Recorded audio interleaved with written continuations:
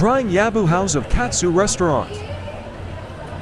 Hi everyone, today I'm excited to share with you my dining experience at Yabu, one of the best Japanese restaurants in SM MOA. I've heard a lot of good things about their food, and I'm really looking forward to trying their famous katsu. First of all, let me show you what I ordered. I got the Rosu Katsu, which is a deep fried pork cutlet with 180 grams of juicy and tender meat. It comes with a bowl of steaming hot rice, a side of miso soup, a generous serving of fresh cabbage, and a slice of fruit for dessert. Let's start with the rice. Yabu's rice is definitely a standout. It's perfectly cooked and has a slightly sticky texture that makes it so satisfying to eat. You can taste the quality of the rice, and it's the perfect complement to the Rosu Katsu. There are two varieties of rice. One is white and other is brown rice. Next up, we have the miso soup. I'm a big fan of miso soup, and Yabu's version did not disappoint. The broth is rich and flavorful with just the right amount of saltiness. It's a great way to warm up your stomach before digging into the main course. Now, let's talk about the cabbage. I was surprised at how much cabbage they gave me, but it's a great way to balance out the heaviness of the rosu katsu, and it comes with a tangy and slightly sweet dressing that makes it even more delicious. I think this one is roasted sesame dressing,